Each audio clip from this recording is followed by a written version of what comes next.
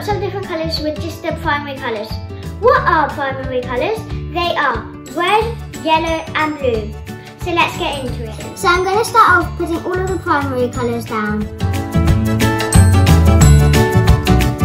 So now let's mix red and yellow and see what comes out. Just mix them and now we've got orange. Let's mix blue and yellow.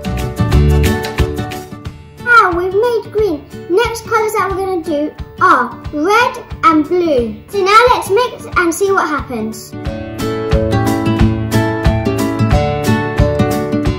Just finished the purple. Now we've done all of the colours of the rainbow, but there's still one colour left, the brown. So we're going to do the brown with all of the primary colours. So we've done all of the colours, that's amazing, with just three colours. So now we're going to do a painting with the colours.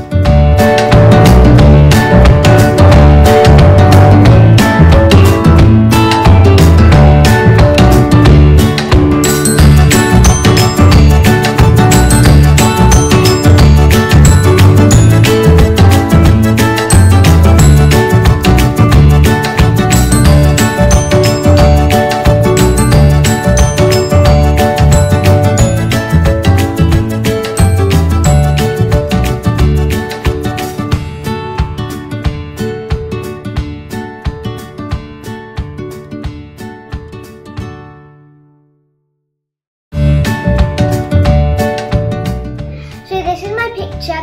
I hope you've all learned a lot of how you can make loads of colours with just three colours and also make the rainbow. Please like this video. Bye!